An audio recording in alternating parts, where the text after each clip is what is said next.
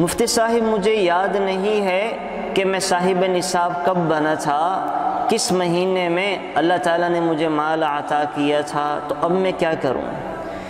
याद रखें, जो शख्स ये भूल जाए कि अल्लाह ताला ने उसे साहिब निसाब कब बनाया था, पहली दफ़ा वो साढ़े बावन तोला चांदी की कीमत के बराबर माल का मालिक कब बना था, याद नहीं रहा तो अंदाज़ा कर ले।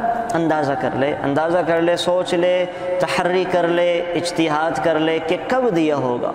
अगर फिर भी ये बात जहन में नहीं बैठ रही, कोई तखमीना नहीं लग रहा तो फिर अपने अंदाजे से किसी एक महीने को तय कर ले। फिर रमज़ान को भले तय कर ले कि मैं यकम रमज़ान को अपनी माल की ज़क़़त अदा किया करूँगा। अल्लाह मुझे जो भी माल देंगे, यकम रमज़ान को हिसाब लगा कर मैं अपने माल की ज़क़़त अदा कर दिया करूँगा।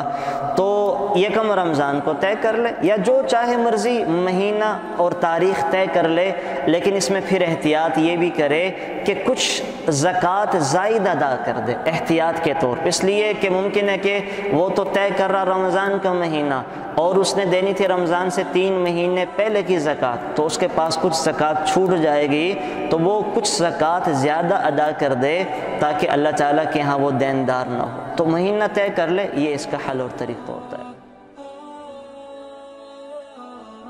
Thanks for watching. Please subscribe, like, share Mufti Sufyan.